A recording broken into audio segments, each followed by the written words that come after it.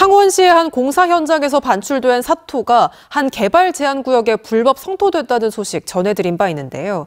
그런데 업체가 사토 반출입을 위해 창원시에 제출한 동의서에 땅 주인도 모르는 도장이 찍혀 있었다는 주장이 나왔습니다.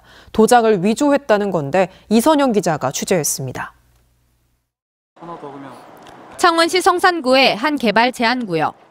지난 2022년 4월부터 지난해 초까지 창원시 민주주의 전당을 비롯한 공사 현장의 업체들이 흙과 폐기물을 잘못 성토해 논란이 일었던 곳입니다.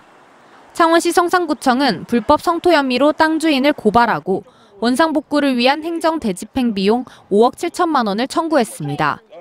그런데 땅 주인은 재판을 받던 도중 두 개의 사토 반출입 동의서에서 처음 보는 자신의 이름으로 된 도장이 찍혀 있었다고 주장합니다. 위조 도장이라는 겁니다. 동의서를 이제 제가 사실적으로 보니까 제 도장이 아니었고 아주 뭐 기분 나빴죠. 참담했죠. 땅 주인의 실제 도장입니다. 두 줄로 예서체로 만들어졌는데요. 동의서에는 세로 한 줄로 되어 있거나 다른 글씨체로 쓰인 도장이 쓰였습니다.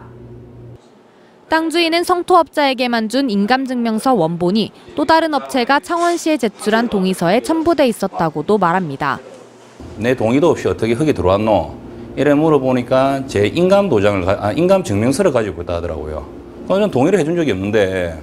창원시는 땅 주인 인감 증명서의 도장과 실제 동의서에 찍힌 도장이 달라도 문제가 없다고 판단했습니다.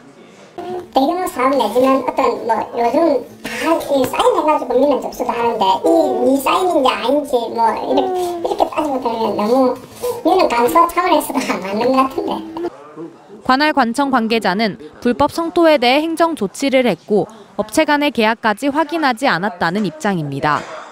확인하는 필요는 없는 사항입니다. 확인을 했다고 해서 거의 합법화 되는 건 아니니까. 한편 허가 면적보다 더 넓게 매립한 토사 2만 6천 세제곱미터와 불법 폐기물 140톤을 파내는 성산구청의 행정 대집행은 지난해 10월부터 시작해 지금은 마무리 단계입니다. MBC 뉴스 이선영입니다.